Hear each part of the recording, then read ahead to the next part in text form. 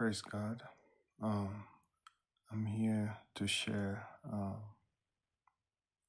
a message, very important message. Is every word of God is important.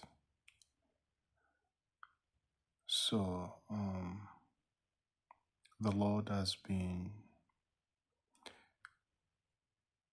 good. He's always good.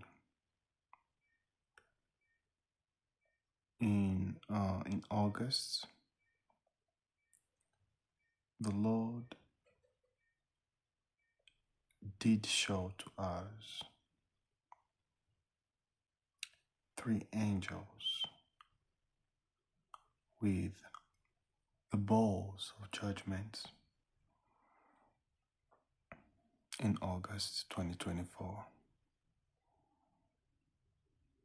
ready to or pouring the bowls upon the earth.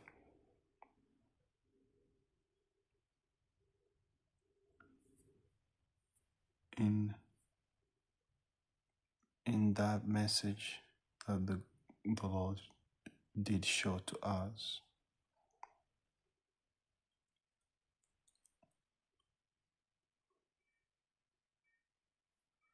it was it was um that we should we should stay strong believing in God. Keep looking upon God. The protection of the Lord was covering was with his people while people were in the darkness all around screaming and suffering in what looked or sounded like something was raining upon them. Judgment was raining upon them. The Lord was shelter to those who believe in His word. That what God showed us, He did show to us in August 2024. The three angels, the three first angels from the seven is written in Revelation 16, were pouring their bowls upon the earth. So, two weeks ago, two weeks ago, three weeks ago, the Lord showed to us again the heavens opened and four angels were ready to pour their bowls upon the earth. As Revelation 16 says, there were seven angels, according to what the Lord did show to us. The first three angels did pour their bowls upon the earth. At least around the time the Lord showed to us in August. And the last four angels started pouring their bowls upon the earth three weeks ago. The Word of God is truth. And sometimes we don't really understand what the Lord says. Um, but by faith and by obedience, I'm even sorry to God for even delaying sharing this message. But the time has come and I wanted to share so that whoever has ears may listen. And uh, we've seen plagues upon the earth, we've seen suffering, we've seen a lot of things going on on the earth right now. And the the visions of God or the the book of Revelation is a book of I'll say parables. So it's some there are symbols that you need the Holy Spirit to understand. And when it comes to bowls, the bowls of the seven angels, I believe in my heart that no matter what anybody tells me, according to what the Lord has shown to us, is what is happening right now.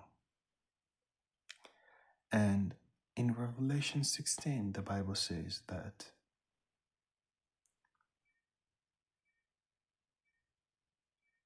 um, one of the angels will pour the bowl upon the river Euphrates, and the river will dry out to make way for the kings of the east for the great battle of Armageddon. Uh, is it Armageddon? Oh, Armageddon and Gog and Magog war is kind of similar, but the river has been uh, there. There, there. It's it's can be even looked up on Google. You can see the river Euphrates drying up, and that is something to have in mind that that prophecy, the promise of the Lord is has come to pass. We've seen these mpox viruses across Africa and across the world, how people are getting these plagues and others. The Lord taught us the COVID vaccine was and is the mark of the beast. No matter what anybody else says, doesn't change that. And the Lord told us that this war that is going on in Israel is the last war. Meaning, it is the war that was prophesied. It is the Gog and Magog war. And Israel is fighting seven front war. Meaning of seven in the Bible is fulfillment, completion. As we see in Revelation, there are seven seals, seven angels, seven, praise be the name of the Lord, spiritual of the Lord, seven eyes, praise be the Lamb of the Lamb, seven trump angels with trumpets, seven uh, angels with with bowls. It has big meaning. So Israel is fight is surrounded, is fighting Hezbollah, Hamas, Iraqi militias, Syria militias. Is fighting um, terrorists in West Bank, Judea and, uh, and Samaria. He's fighting Yemenis, Houthis, and he's fighting Iranians, and all those actually nations that hate Israel and hate God. So it is the Gog and Magog. Even Russians are supporting Iranians and Hezbollahs, and even the West, US and Europe, is not really helping. And there's so much involved. There's the the beast, the first and the second beast of Revelation, the northern and southern king in Daniel, and the iron and the clay. They're they're they're um, accords, there are pacts between Western nations and Arabic nations, as even you can see uh, those are what called moderate Saudis and and UAE and all the Kuwait and and um, Jordans and all those who are called moderate Muslims. It's prophet it's prophesied in Ezekiel 38, 39. And that's the war that the Lord will come and fight for Israel. That's the war that is going on right now. And because the Lord is coming even before to take his church, imagine how the time is fast gone and we should be ready. Because the church will go and come back with the Lord to help Israel. So that is the message I have. Let God give you light of the Holy Spirit. Open your mind and heart, your spirit, so you can understand and believe and get ready. I'm just a man, I'm just human. I may have my um, weaknesses, but the Word of God endures forever. As the Lord taught us in Revelation, may the Spirit say, Come.